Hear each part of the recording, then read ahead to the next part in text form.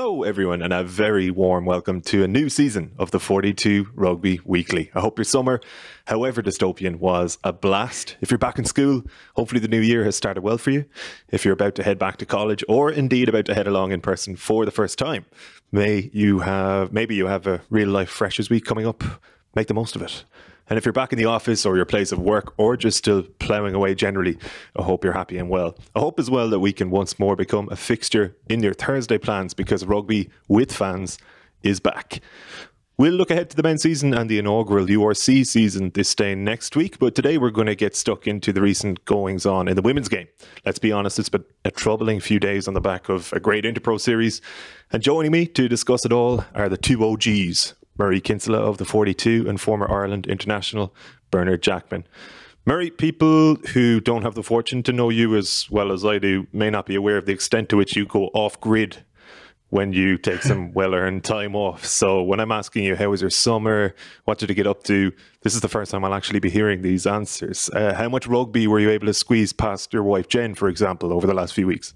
Uh, a few bits of the Rugby Championship, Bledisloe Cup um, watching that obviously had an interest, always interesting, but did definitely get away from it, it all. Um, I was over in Spain for my version of a Freshers Week, I suppose, and was in Donegal, some beautiful scenery, swimming in the sea, and then finished up with a little visit to Galway last week, which was unbelievable. I, I hadn't been there for a few years. I'd forgotten how much crack it was, how much life the city has, unreal food, pints are just incredible if you like your Guinness.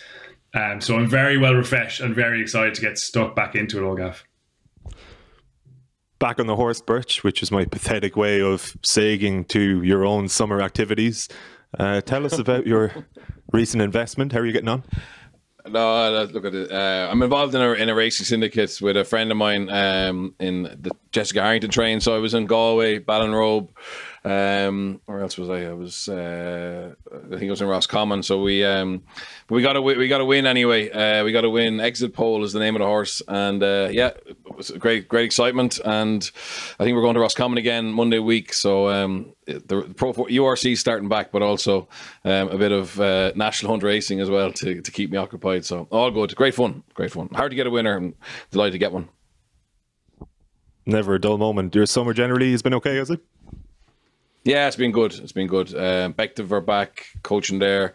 Um, loving it. Yeah, uh, league starts on Saturday, so um, yeah, it's just great to see. See, see the lads being able to play. We like at certain times during COVID, we were allowed to train um, in pods of, of fifteen, um, but we couldn't play games. And uh, yeah, while we still don't have dressing rooms or showers, just being able to play some games um, has been has been brilliant. You know. Magic. Have you been, Gav? We never asked you. To be honest, absolutely great, but nothing has changed for me in the last few weeks. I've just been working away. I took a break earlier in the summer when you hung me out to dry on a previous pod where I was down on the piss in Kerry for a week or so. so. so. nothing to really write home about over the last few weeks. Just been keeping the head down, ploughing away. I was in Leeds for Katie Taylor's fight recently, which was good. First time getting out of the country in 18 months to two years, I guess. And look, part of me wishes she was fighting in New York or somewhere. I kind of said, like, Jesus, could you yeah. not have gone to Leeds is a beautiful town. Rugby league town now, but beautiful town. We're in Headingley, actually, which was the, the stadium for the fight. So, yeah, good. Thanks, Mer. Come here, as I good. said at the top, we'll focus on the women's stuff this week and we'll get into like the wider issues and some of the off the field goings on over recent days in a while. But we should start with the game uh, and that defeat to Spain, which on the face of it, and I think however you spin it was just disastrous and, and shocking, really, uh, performance wise, and in terms of probably our expectations of a result as Ireland look to qualify for the Rugby World Cup. So, starting with yourself, Murray, where exactly did it go wrong? How was it so bad to your mind? Quite a few areas they could have picked out in the review and will have picked out. Um, three that stood out to me probably the discipline. They conceded 15 penalties, and they definitely would argue with some of those decisions and, and, the refereeing, but that's a huge number in a big test match. It was really costly. A lot of them were in attack when they were in good positions, stuff around the breakdown, uh, getting isolated ball carriers. A, a number of times you saw that where maybe just a little bit of cohesion and organization wasn't there. They obviously had handling errors. I think five or six of them in the end. There was a rustiness given the lack of of game time, and the lineout was a disaster. Really, they lost seven on their own throw. I think three crooked throws, as well as Spain obviously defending very well. To their credit, they did really make life difficult for Ireland there and, and at the scrum also. But the big one that stood out to me, and I went back through it last night just to to get the stats on it. Ireland had 11 visits into Spain's 22 and they scored obviously just once. Like that's disastrous return on an unbelievable amount of strong position and good position. Again, a number of those were probably a little bit unlucky. They had a five meter maul chance where the, the penalty decision went against them, could have gone completely the other way. But they had a number of opportunities, obviously, to potentially kick points. I think once in particular underneath the posts where they opted to tap against 14 players maybe a chance to scrum against 14 players with Spain having one in the bin and use that numerical advantage and they got held up. But there are a whole litany of their own errors playing into that as well. 11 visits is is huge number and you've got to get return on that. It's a game they should have had wrapped up by halftime if we're being realistic about it. Even beyond the the bits where they were camped 5 meters out, they had a chance down the left-hand side where they had a three on on two, three on one, maybe even, and, and the ball didn't go early enough into Beibhinn Parsons' hands. We saw what she could do, um, and also we saw what Amee-Leigh Murphy Crowe can do whenever she got on the ball, but that probably didn't happen enough. And as they saw those opportunities slip, I do think in the second half there was that element of panic and stress caused by this not perfectly going their way, not closing out the game, and even though Spain.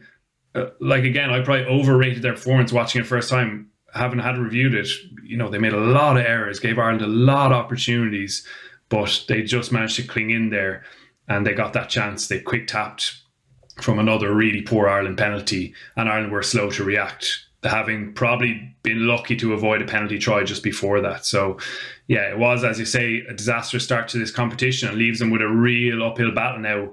Italy to come on Sunday. That's going to be a really difficult fixture given how impressive they were against Scotland in a six try win. So, tough times for, for Ireland at the moment. Certainly was. And Bernard, it's only fair, obviously, to put the spotlight on some of the players. And as Murray has discussed there, a litany of unforced errors, people not really doing their jobs within this, within the context of this match.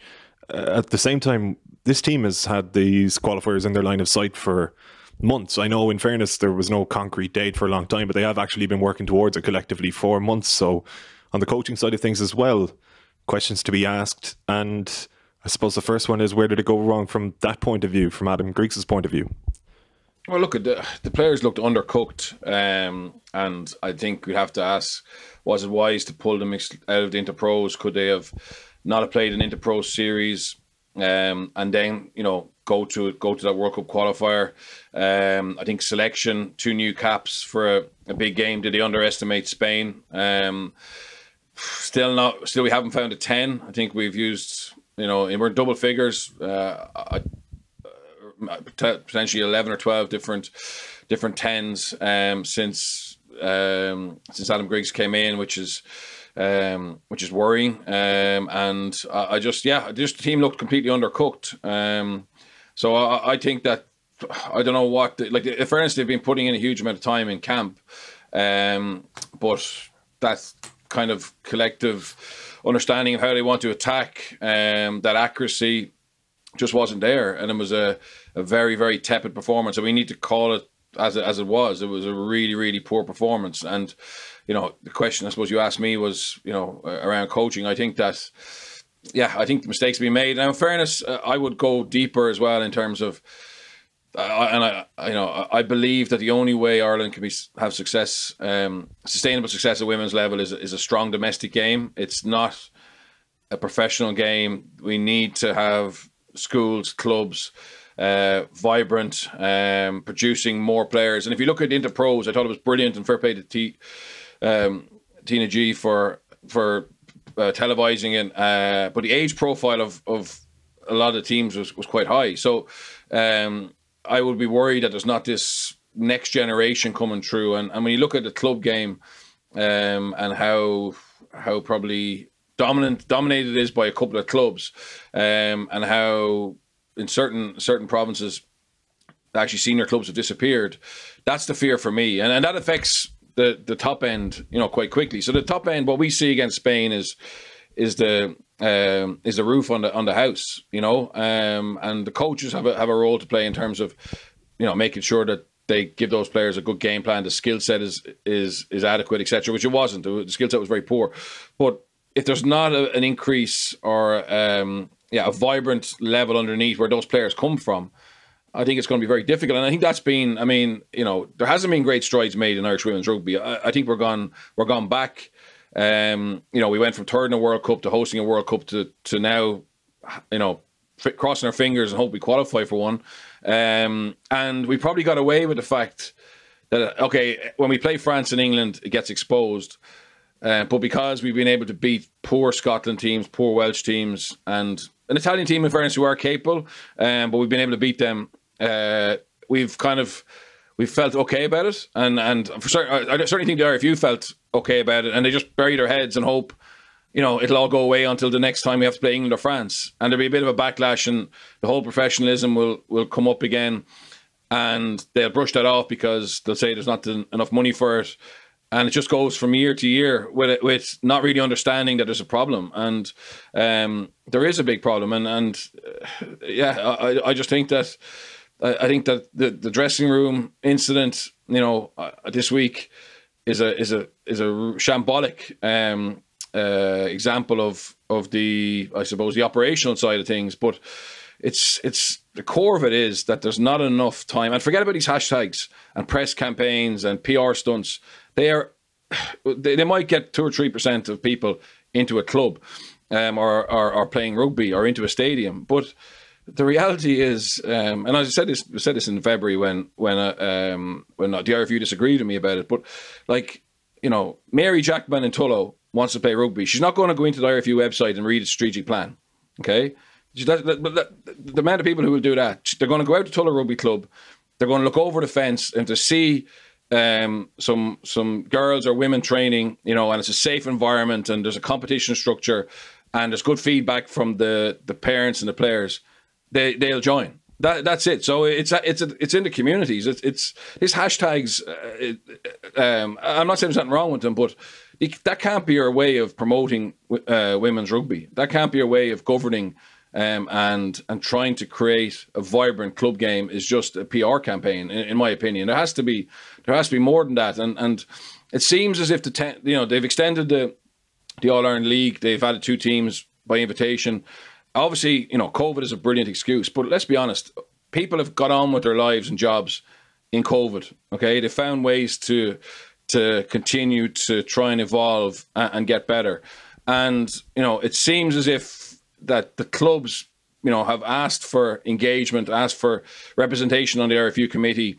um, which the RFU, the AIL clubs don't have any representation on the RFU committee, and you know, if if if what's out there is, is correct, there's been no response for for ten or eleven months, um, you know, which is which is worrying. You know, uh, uh, worrying about where their the real where their hunger is to to make it better. So, look at this. Hopefully, this is it's a horrendous to have to maybe miss out on a World Cup or you know have to lose to Spain to reach rock bottom, and horrendous that you know those kind of players had to had to change where they did. Um, but if, if it's the point where we said we have reached rock bottom and change happens, well, then it'll be worth it um, in, a, in a sadistic way.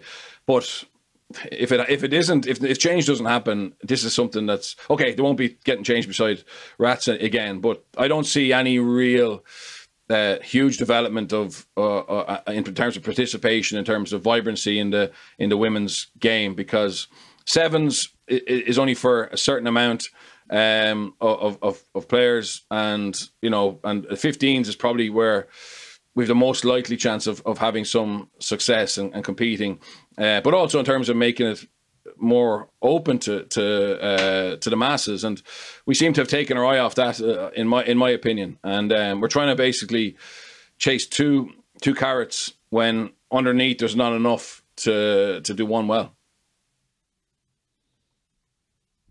Murray, come in there. Yeah, there's so much in that. Um, firstly, on the the immediate task at hand for the national team, I think missing out on a World Cup would be really damaging. Birch is talking about a young player looking over the fence and seeing local players getting on and enjoying the rugby, it's really important to have an aspirational element to that as well, where you're looking at successful or even mildly successful teams and you want to be part of that. And we've had some of that recently, like young players like Beibhinn Parsons, Dorothy Wall, they're like kind of role models. We've discussed that before. Being there at a World Cup is absolutely pivotal. And Ireland have been part of what the previous seven. They missed the first one all the way back in 1991, but they've been there since. They hosted the most recent one. Obviously, it didn't go well, but to dr- drop away from that would be really damaging. They still have obviously a, a, a chance of doing this. Even in this tournament, if they finish second, they get another qualification repechage tournament against who is it, Samoa, Colombia, and an Asian team, which they'd expect to win. But they even have a, a job in their hands to get that second place because Italy are going to be really tough, as we said this weekend. And then underneath that, absolutely, like it was so dispiriting um, to just see another episode of, I suppose, scandal, disgrace, another fiasco in Irish women's rugby. It seems that it just lurches from one to the other, all the way back to what 2012, the national team traveling to Pau over what 17 or 18 hours was it at the time, and and they got a couple of hours keeping their hotel before they they played a match and, and lost. And you go from that to advertising a part-time head coach role when everyone else is moving in the opposite direction there's a host of of different instances there that you can look at and highlight and say there's just not enough care of duty there from from the authorities, There are the RFU IRFU in, in this case. So yeah, it is definitely in a frustrating position, and even the national team they have gone backwards when when others have accelerated and moved on to professionalism without even that being the answer here. Um, it is worrying to see Ireland being left behind by those teams. And absolutely, the vibrancy of the club game is is really important. And that's another issue that's been simmering away underneath. Like so much goes on in Irish women's rugby that we don't hear about, probably don't hear about enough. Um, and the clubs game is is part of that. Like there's been frustration that we've mentioned before from the clubs about how the whole scene is organized and governed and how they don't have enough of a decision making say in, in everything that happens, and that in fact they're ignored at times by the RFU, they feel. So it really isn't in a healthy state. And yeah, they may get into a World Cup, but does that paper over the cracks in a way? Like this does feel like a bit of a turning point, and it's really been interesting to read and listen and ponder the comparisons with the FAI and, and the Irish um, women's football team and their kind of stand in Liberty Hall in 2017 when enough had been enough, and how male players have probably helped that process that they're going through now. Um, actually, Mary Hannigan had a brilliant piece in the Irish Times today saying that now they got to get those results on the pitch after the, the progress off it. But it's it's hard not to see that this is a point where people say enough is enough, um, and then there's probably a bit more outspokenness. Even the Connacht players, kind of belatedly, I suppose, making a statement and putting their voice out there was really welcome because that's the kind of stuff that does force a bit of change that makes people a lot more uncomfortable. Um, because it's easy for the RFU to dismiss us and tell us we're talking shite on a podcast, but when players themselves and, and fans themselves are really making their voices heard, that makes a big difference.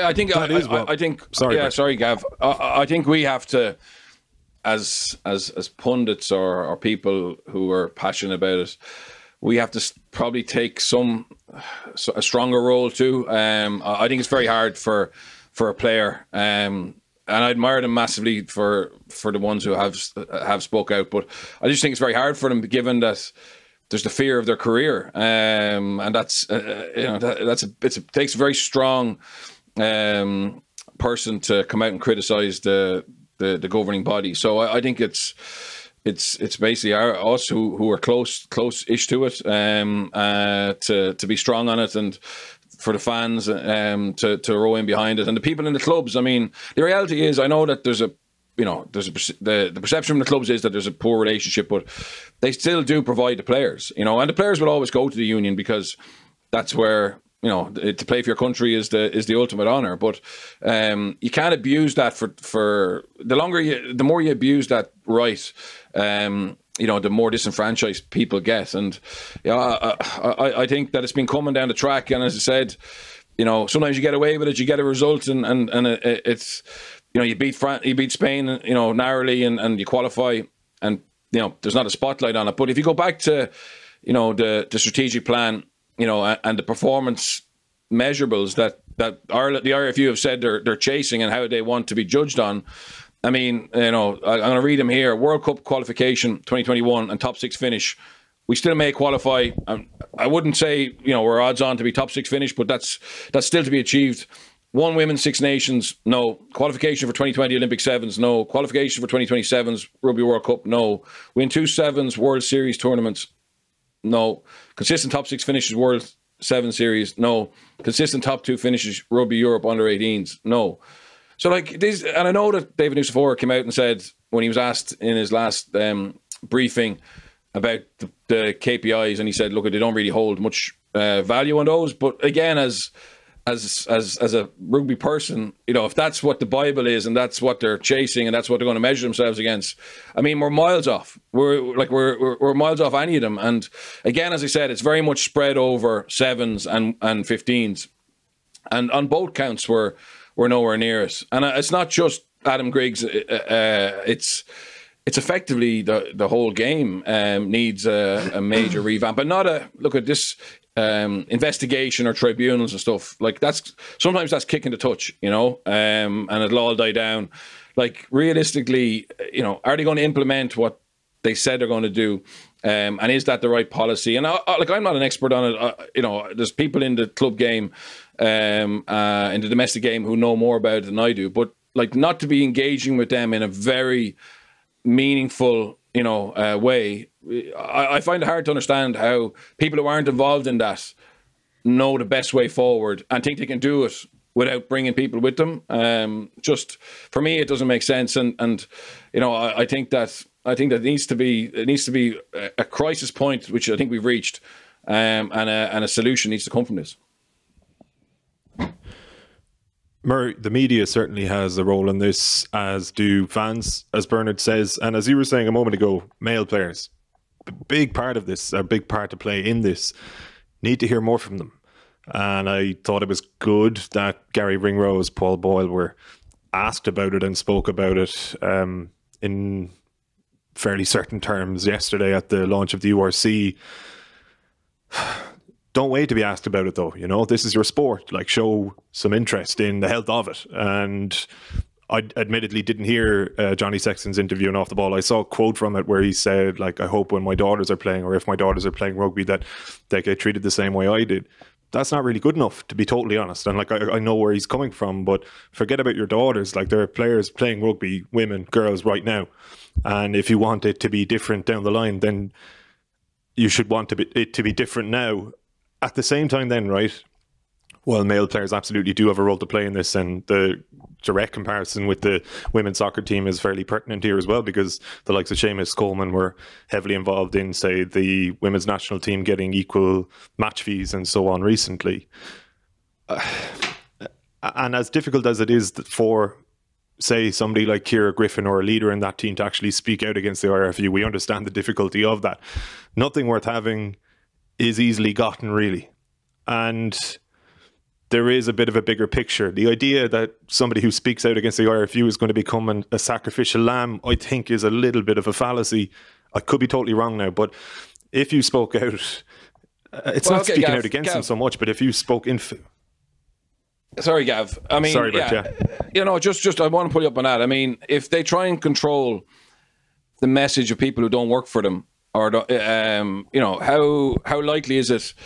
that they won't be unimpressed with somebody who's who's basically a, a volunteer or um, you know who's who's an uh, yeah a volunteer or a player who plays for them. I, I think it's very hard for a, a player to, to, speak out. Even I think it is very hard. But, but no, like, no, but a, fe- a female player. Could, could yeah. I just say though, Murray? Like, for I, I completely agree with Bernard. They would be unimpressed. There'd be a bollocking dished out almost certainly. But in terms of careers being at stake, I think when you have massive public support behind you, that changes things. And we've seen that this week with the constant apologies and the so-called investigation and so on. Now, of course, some of that is lip service or kicking into touch, as Bert says. But if somebody speaks out and says, "Listen, this some of these some of this crowd needs to kick up the hole or whatever," like or speaks out in favor of the health of their sport, people will run behind them, and it's a dangerous thing then to ostracize them or whatever, which has been suggested. I, I don't see that personally as being a possibility.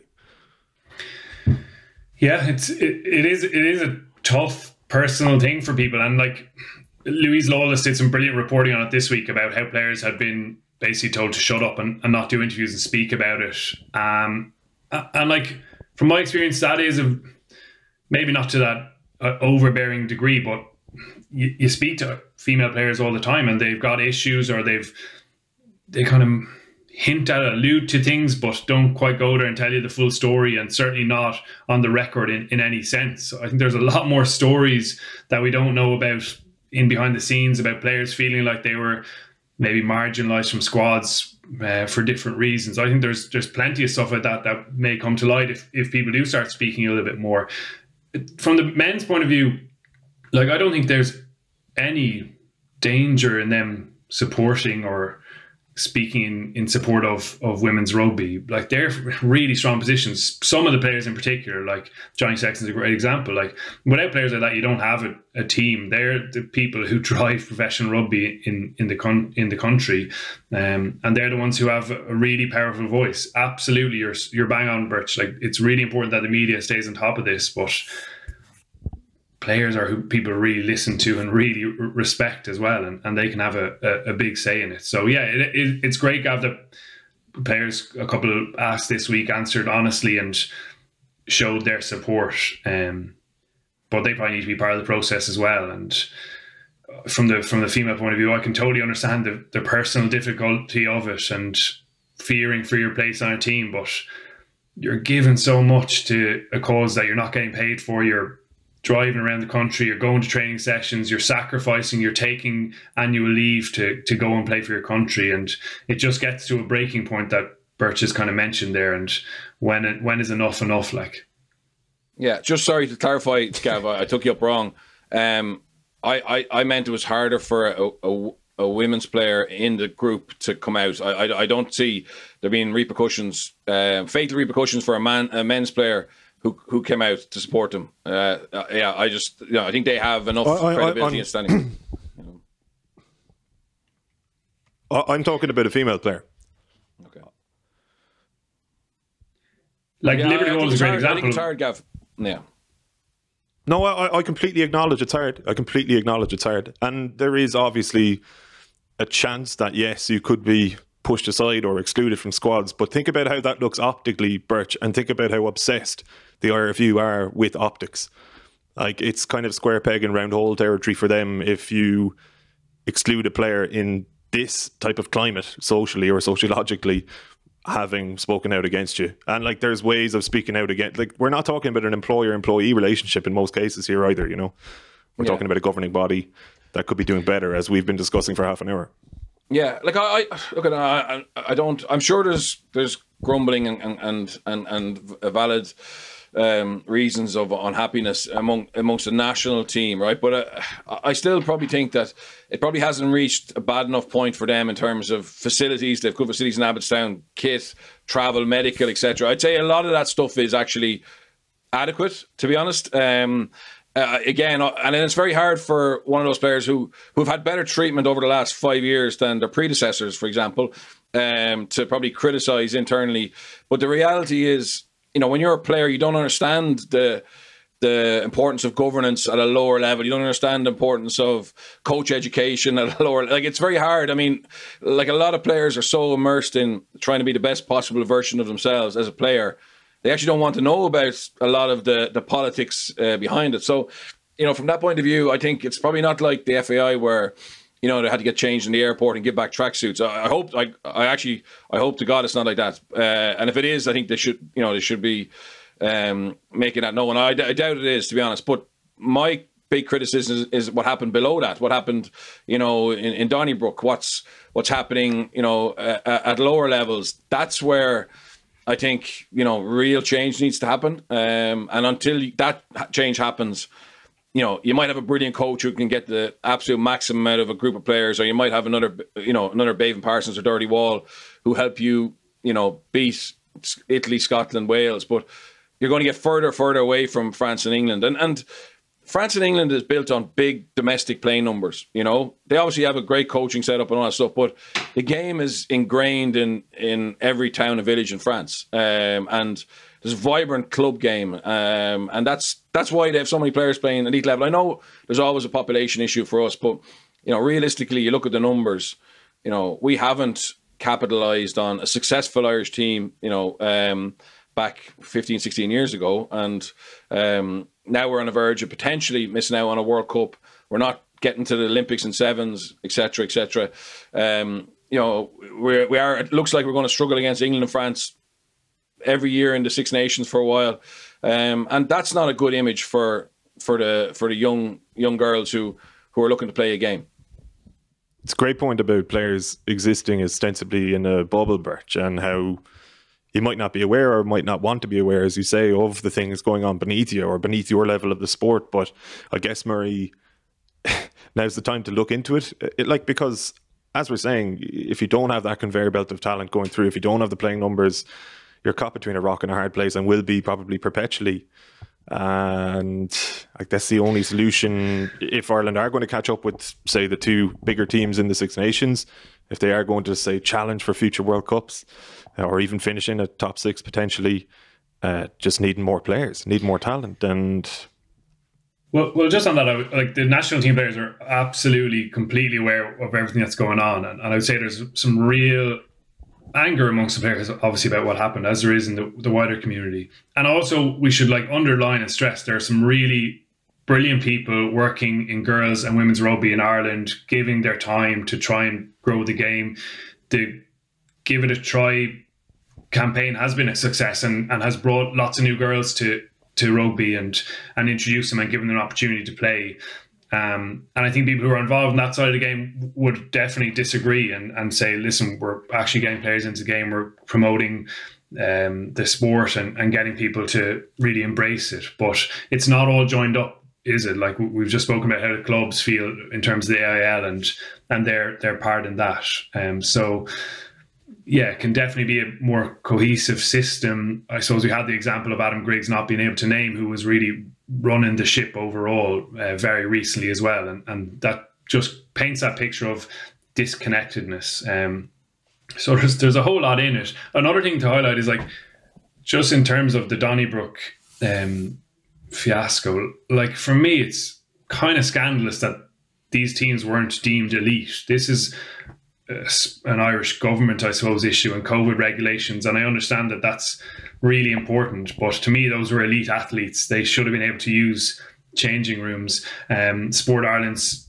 have kind of said that the use of changing rooms was for, for professional athletes, but uh, we know that women's rugby in Ireland isn't professional. These are the, the some of the best players in the country, obviously without the Ireland players on national TV playing really high quality competition. It's elite sport to everyone who watched it. Um, so I think that was part of the issue as well. It doesn't in any way excuse, obviously, what happened. Like it should have just taken a glance at that area of the of the facilities to say no, this isn't going to do. But it was just crazy to me that they weren't considered elite athletes. There needs to be a bit more respect there, I think, for the level that that they're playing at, and everyone who watched it on TG Ceathair, it was brilliant coverage, uh, and the rugby was excellent. And it's just such a pity that we're not looking back at that. We're just talking about another incident of disrespect, really, in, in women's rugby, and, and that's a shame because every time you think there's a little step forward there, there's something like this that pops up. It's just too regular, too frequent.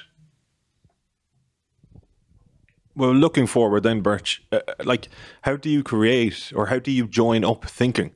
Because as Murray rightly points out, of course, and I, maybe I sounded a little bit dismissive in what I was saying a minute ago, but like, of course, there are like dozens, hundreds of people across the country doing unbelievable work on ground floor for women's rugby, girls rugby. But how do you convert that into more national team players? And and like in fairness, this might be a, an issue of time as well, and having to actually wait until some of these girls grow up to become senior players. But uh, I guess uh, how do you actually collaborate? Like, how, how does it work as a system? Yeah. And in what way is it not working now? Well, I, I think the competition. I mean, there's a. Um, there seems to be a lack of appreciation of the of the domestic competition in terms of visibility, in terms of Irish women's senior coaches going to AIL games um, to scout talent, and and there's a, there's a perception that you know, it doesn't matter what you do for your club; it's what you do in in in training camps or in, in the seven. So that's something that, if that's your breeding ground for your players, and obviously, you know, there's there's there's a feeling that the players don't get sent back to play AIL very often, so they get taken away from their club, and that's a tricky one to manage. Um, I understand that, but I think there needs to be visibility from the the coaches involved with the national team um, at games first of all, and I think we just need to get that AIL structure right. So. Um, a lot of clubs have have started off now. Um, some have gone and, and, tried to have an adult women's team and then a, a, and obviously mini rugby, and then others are, are starting off with the under sixes and then bringing teams through and just you know every year having more more girls in the club and underage systems with the hope that when they get to adulthood they'll become an, an adult team and obviously hopefully be good enough to play uh, to bring that club to the AIL. Um, uh, and so what they need to make make sure is that the that AIL is um, is a very good competition in terms of um, a, a, relative evenness of standard. So at the moment, you know, Blackrock, Belvedere, Railway, and um, and UL Bohs are probably the the four big teams. And um, you know, if if what I hear is cr- true, a lot of those games will be, you know, that when they play other teams it could be 50, 60 points. You know what I mean? So you got to try and narrow that gap to try and get enough talent into the other teams that it's a it's a a more competitive competition because having a one-sided competition where um, you know the top are too are too strong won't do anything for uh, for those players' confidence levels in terms of growing uh, rugby in that area. So it's a, it's a tricky one. So I think they need to invest in in, in coach development, coach education, um, but really in terms of each club um, what they're doing at underage level to increase uh, participation, coach those girls properly to to bring them through. And then, as I said, then it's by that stage, and this is this isn't a quick fix uh, because it hasn't started yet, but you'd like to hope in three or four years' time that that AIL competition has very good refereeing, very good fixture scheduling, you know, the right time on the right pitches, um, when people from the club can can support it, not clashing with with everything else or on a back pitch. Um, and they're the kind of things. It sounds like so so simple, uh, but they're the things that matter to people. Is is just good operational scheduling, fixturing, coaching, refereeing, um, and dialogue. Uh, and um, you know, if something's not working, you know that you can address it and make it better. Uh, because for me, I, I, I just think the way forward is is the the girls who are twelve and thirteen now um, that when they become adults, there's a better structure for them to to go into. I think that's that's where we're at, to be honest. Murray, I suppose it's the fact that it sounds simple, or a lot of that potential solution sounds simple, is kind of an indictment in a way because you ask yourself why is none of this happening at the moment. As Bert says, it hasn't really started yet. A lot of it. Uh, do you feel as though this week will be kind of a catalyst towards it actually beginning, or more work being done? Because we've spoken in the past as well about how many people are actually employed by the IRFU to work on the women's game, and some of them are doing a great job. Don't get me wrong, but it's in case anybody's listening to us speaking about women's rugby for the first time, or or wouldn't generally tune into uh, coverage of women's rugby. It's not the case that this is absolutely threadbare on the side of staff or anything like that. Um, it should be the case that the infrastructure is in place to actually bring the game to a healthier place but it just doesn't seem to be moving. Is this the week when it starts moving? Yeah, hopefully it's a week when things take a step forward, and you can absolutely sense the IRFU being awake to to this issue, and it's been a broader conversation. Like the sad reality, but the good reality, and at the same time, is that more people are talking about this than will have engaged with those interprovincial matches. Like that's just the reality of it. A scandalous issue, so people are are kind of tuned into it yeah, there are people working in the Irish women's game, but another part of it is having women in governance positions. Like you look at the IRFU's targets for for the national team, but they also have a target of having a twenty percent uh, female representation on on boards in clubs, in all those decision making roles. And in fairness, there have been recent steps towards that. You saw Fiona Steed and Yvonne Comer going onto the IRFU committee. That's a really positive step. People who've been heavily involved in the women's game, who understand it at every level, who obviously understand how, rugby works and can have a say in really push the important women's rugby agenda in, in a room full of men who obviously have their own backgrounds and, and many of them I would say or most are, are not in, in women's rugby or an understanding of it. So that's absolutely pivotal as well. You, you need female representation through all aspects of, of, the IRFU, and that's been something they've been slow to do. They've set themselves that target. They'll say things have been delayed. They set up a women in leadership program, and I think that started last year, helping people to upskill themselves to be in those positions as well. Um, and that's all positive, but that needs to happen really steadily and, and improve over the next couple of seasons so that we end up with a, a much better representation at that level as well, um, because they're the people who who have sway and, and decide the the direction of, of the union as a, as a whole. And the sense within rum, women's rugby is that it has been an afterthought too often in, in, in the past over the last number of decades. As I said, we can go back a whole long way with incidents like this. So absolutely, hopefully this another high profile incident is a, a, step along towards making it better. Obviously, a, a, horrible thing that, as has been promised, won't happen again, but it really needs to be acted upon. Words mean so much less in, in these instances. You know, the apology means so much less than what we saw in that video. The hashtag nothing like it campaign means so much less than what we saw in that video. So while all, all those things have, have good intention, those campaigns and absolutely there's practical elements to that on the ground. It's what you do rather than what you say, and, and that's what we need to to see now.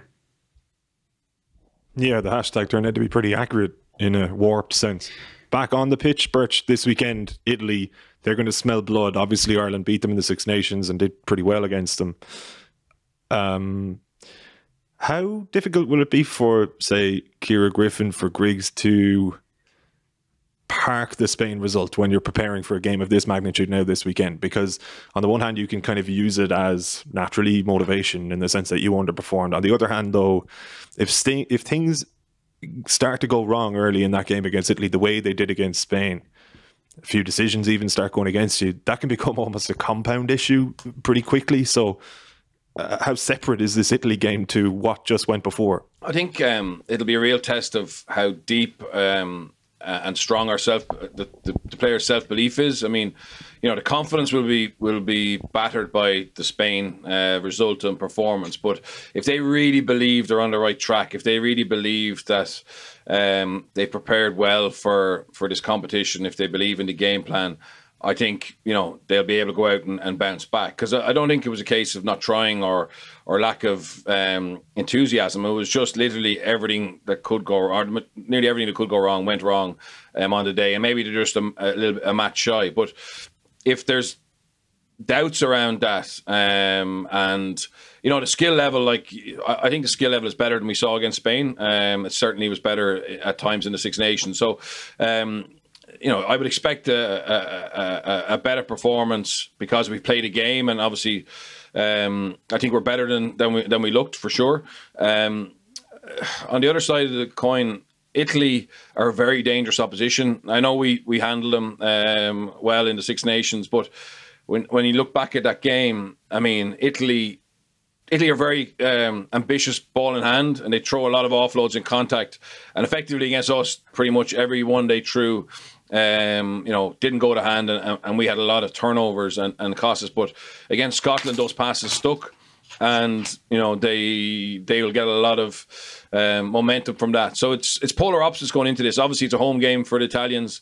Um, you know, they probably went into this competition thinking we're playing for second and you know uh, qualification through the repechage, uh. Now they have a chance of, of, of knocking us effectively out of it. So um, I think it's a huge test, and I think the problem again I have, and I said at the start was um, selection wise not having a, a recognised ten who can who can manage the game um, and you know nurse the forwards into it. I think there's a doubt around our, our, our scrum. I, I can't understand how Chloe Pearse isn't over there. You know, she was man of the match uh, for Munster um, last weekend. Uh, I know she's maybe not the finished article as a scrummager, but even as an impact player, as a back row off the bench, I mean, that's what we need. We need players who can give us that go forward. And if we have to be direct against against Italy to get the win, well, that's what we have to do. You know, um, there's no harm in actually limiting a little bit our ambition uh, just to get the job done and have a World Cup. I mean, that's how that's how important it is. That kind of evolving game plan is important. You know, at certain times of the year as you develop. But now we've got ourselves in a situation where we're effectively 80 minutes away from being knocked out of a World Cup. So I think we have to we have to have a game plan that's um, very much tailored towards taking away the Italian strengths and, and playing into ours. So I look at I, I, we can definitely win for sure. I mean, Italy aren't the finished article. There's a massive gulf, but they are dangerous. They are dangerous, and they will have their, their tails up. So um, I think it's going to be a real test of the leadership of, uh, of the senior players and and the coaching staff to be able to, I suppose, get that self belief back quickly. Yeah, it's a back to the wall job, Murray, and traditionally, I suppose that's when we're at our most dangerous. excuse me, going into cliche territory, but maybe it's actually the easiest type of game to get up for and, and to mentally prepare for. Yeah, I think retaining that belief is the key challenge this week.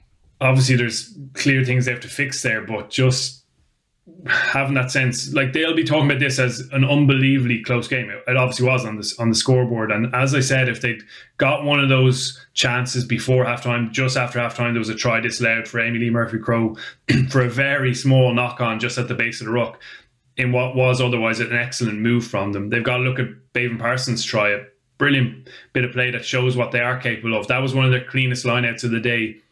Moloney hits McDermott kind of double tops, a really good lift you've Dorothy Wall shearing off the maul and, and linking to Sene Naoupu midfield for that carry.